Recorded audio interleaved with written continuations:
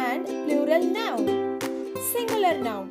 A singular noun names only one person. Example, apple.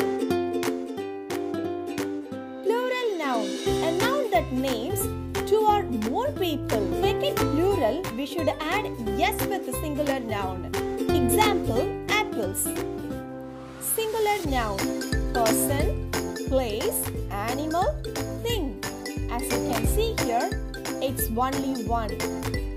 Plural noun. People. It's a plural form of person. Places, animals, things. Many. We'll see some more examples. Cup, cups. Dog, dogs. Parrot, parrots. Book, books. Table, tables.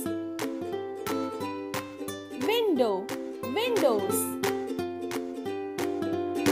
Building, buildings. Car, cars. Boy, boys. Teacher, teachers. Let's do this activity. If you want, you can pass and match the singular with the plural nouns.